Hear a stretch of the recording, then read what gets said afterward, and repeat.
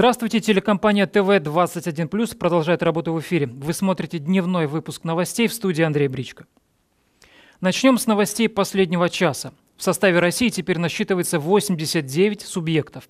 Совет Федерации ратифицировал договор о включении Донецкой и Луганской народных республик, а также Запорожской и Херсонской областей в состав Российской Федерации. Члены Верхней Палаты Российского парламента единогласно проголосовали за это решение на очередном пленарном заседании. Напомним, 30 сентября президент России и главы регионов подписали договоры о присоединении к России, а вчера их ратифицировала Госдума. К другим новостям. На портале госуслуг заработали сервисы по частичной мобилизации. Если вам или вашему родственнику прислали повестку по ошибке, сообщить об этом теперь можно через портал. Для этого нужно открыть раздел «Частичная мобилизация» на главной странице, отметить, за кого подаете заявление и выбрать основания для отсрочки. Дальше остается заполнить заявление по форме, приложить фото повестки и документы, подтверждающие, что вас призвать не должны. В этом же разделе можно узнать всю информацию об отсрочке, гарантиях и льготах для семей мобилизованных, а также записаться добровольцем. Глава Мурманской области участвовал в парламентских слушаниях в Москве. Главная тема – параметры федерального бюджета на будущий год. Андрей Чибис обратился к Совету Федерации с просьбой предусмотреть средства на продолжение программы по реновации ЗАТО. По словам губернатора, состояние населенных пунктов, где живут наши защитники и их члены семей, не может таким оставаться. К сожалению, пока в проекте бюджета на это заложено всего лишь 300 миллионов рублей, и понятно, что сумма должна быть кратно выше. Но вот реакция Валентины Ивановны на то, что это обязательно, это принципиально важно, дает нам все основания полагать, что в рамках принятия бюджета ко второму чтению нам удастся добиться увеличения финансирования на эту задачу. Жильцы мурманской пятиэтажки на Воровского устали от ужасного запаха в подъезде. Подвал в доме постоянно заполнен канализационными стоками, от сырости в квартирах появляется плесень и насекомые. Люди обращались в различные инстанции, но безрезультатно. С подробностями Александра Пескова. Трубы старые, они эти трубы горячие, холодные поменяли, и то только где видно. Дальше там трубы уже стоят старые. Без маски заходить в подъезд с 16-го дома Новоровского невозможно. В нос сразу бьет едкий запах канализации. Весь подвал заполнен нечистотами. Жильцы с проблемой борются как могут. Не первый год обращаются во всевозможные инстанции. А пока там решают, что делать, в ход идут литры освежителя воздуха. Канализация у них не чистится. Вот там у них тоже я смотрю в углу, вон там лужи, а там что у них творится, я даже понять не могу. Неприятный запах – это полбеды. Из-за постоянной сырости в квартирах появились мошки и комары.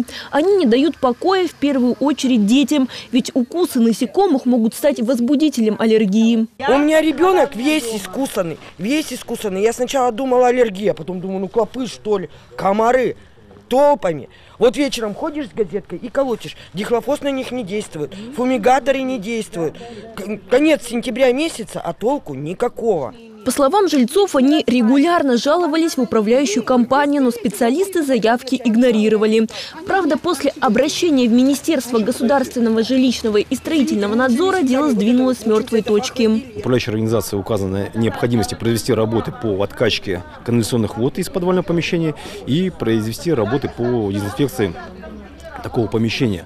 Этот вопрос у нас находится на особом контроле. Как заверил руководитель управляющих компаний, этой проблемой они занимаются с середины августа. Но справиться с затоплением не получилось по объективным причинам. Часть канализационных труб находится в зоне ответственности водоканала. Водоканал приезжал, выполнял прочистку дворовой канализации, э, но это не помогло, пока вот на самом деле они не выполнили вот эти вот работы по замене э, вышедшей из строя трубы. Теперь перед управляющей компанией стоит задача откачать нечистоты из подвала до конца недели. После этого коммунальщики проведут экспертизу внутридомовых сетей. Если работы не будут выполнены в срок, на буревестник составят акт об административном правонарушении. Александр Пескова, Руслан Мавлютов, ТВ-21+. Ровно 106 лет назад был основан последний город Российской империи Романов на Мурмане. В апреле 17 года город переименовали в Мурманск. Бронзовая плита, символизирующая рождение города, была заложена 4 октября 1916 года. Уже в 20-х годах прошлого века Мурманск стал быстро развиваться как стратегический крупный порт. Важнейшей страницей в истории города стала Великая Отечественная война.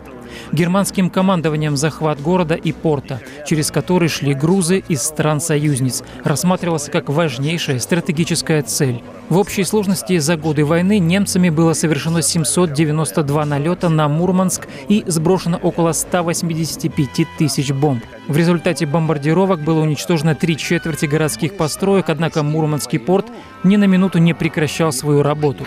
В 1971 году город был награжден Орденом Трудового Красного Знамени, в 1982 году Орденом Отечественной войны первой степени. В 1985 Мурманску было присвоено звание «Город-герой», а в 1916 году столица Заполярья отметила век с момента основания. Кроме того, в этот день, 4 октября 1932 года, была образована территориальная противовоздушная оборона. С этого времени в нашей стране началось создание системы гражданской обороны. На территории Музея военно-воздушных сил Северного флота в Сафоново в честь праздника организовали выставку пожарно-спасательной техники и оборудования. Сотрудники подразделения почтили минутой молчания память погибших летчиков, возложили цветы к мемориалу славы авиаторам-североморцам. Кроме того, на торжественном мероприятии наградили отличившихся сотрудников МЧС. Около 30 человек получили благодарственные письма, почетные грамоты и медали.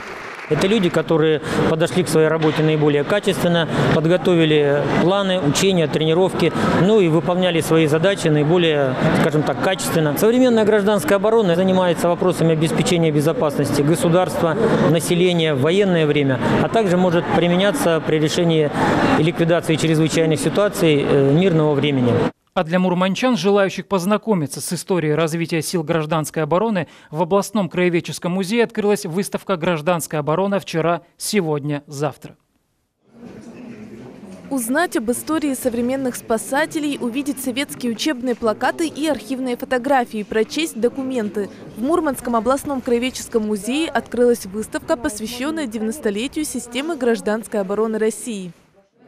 В экспозиции представлены как современные средства защиты, так и те, что использовали еще в прошлом веке. Например, противогаз для лошади. Конкретно этот использовали во время Первой мировой войны. В музее он оказался благодаря волонтерам. Все экспонаты собирали сами спасатели. Костюмы химической защиты, старые громкоговорители, дозиметрические приборы. В зале нашлось место даже для палатки временного размещения, оборудованной всем необходимым. Поэтому к этому мероприятию очень скрупулезно, изучая в том числе архивные документы, наши специалисты готовились в течение года. И это результат вот всей годичной, можно сказать, срока года подготовки к этому мероприятию. Познакомиться с достижениями современной гражданской обороны и историей ее становления северяне смогут до конца месяца. Евгения Гречуха, Кирилл Грапиняк, Татьяна Лежняк, ТВ-21+. А теперь о спорте. В Мурманске состоялся необычный забег «Арктик Топ Ран». Любители свежего воздуха и гор соревновались и в покорении крутых склонов на скорость. Кто оказался победителем и как прошла гонка, расскажет Даниил Скуратов. Самый северный забег в гору «Арктик Топ Ран» в этом году проходит во второй раз.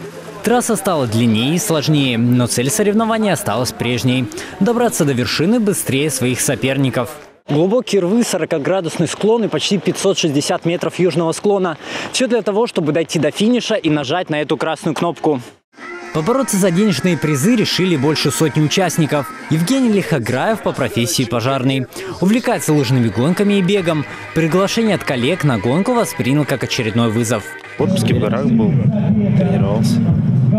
Да и в целом готовлюсь. То есть как бы нет такого, что конкретным соревнованием. Круглый год идет подготовка. В личном зачете жаркая борьба началась еще на старте, а уже к середине дистанции из общей группы выделилась тройка лидеров. Первым до заветной кнопки добрался Алексей Лупандин.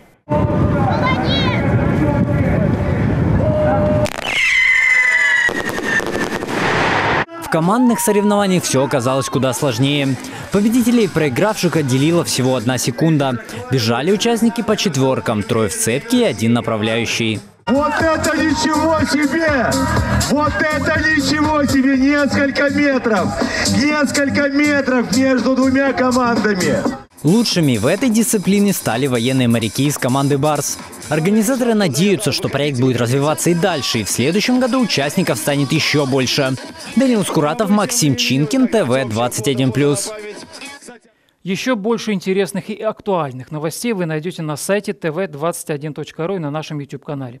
Телефон редакции для ваших новостей 400 870. Не забывайте про Viber и WhatsApp и подписывайтесь на наш телеграм-канал. Далее вас ждет прогноз погоды.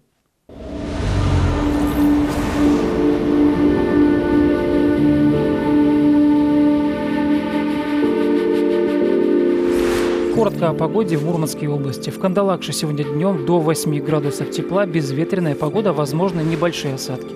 В Умбе пройдут кратковременные дожди, температура воздуха плюс 5, плюс 7 градусов. В полярных зорях сегодня пасмурно, дождливо, температура 8 градусов. В апатитах также возможен кратковременный дождь, ветер северо-западный 3 метра в секунду, температура плюс 6, плюс 8. В Кировске аналогично. Пройдут дожди, температурный столбик термометра покажет плюс 7 градусов. В Ковдоре сегодня днем безветренно, предвидятся осадки, температура плюс 5, плюс 7. В Мончегорске до 8 градусов днем также пройдет небольшой дождь. Дожди не обошли сторону Иловозера, там сегодня 8 градусов тепла, ветер юго-восточный 2-3 метра в секунду. В Оленегорске до 7 градусов днем возможен небольшой дождь. В Никеле плюс 5, плюс 7, западный ветер до 3 метров в секунду не обойдется без дождя. Также и в Заполярном аналогично до 7 градусов и осадки. На севере области в Североморске сегодня днем дождливо, температура воздуха плюс 8 градусов. Сегодня в Мурманске облачная с прояснениями погода, местами возможен дождь, ветер восточный 3 метра в секунду, температура плюс 6, плюс 8. Это были все новости к данному часу. С вами в студии был Андрей Бричко. Всего доброго и до скорых встреч на ТВ 21+.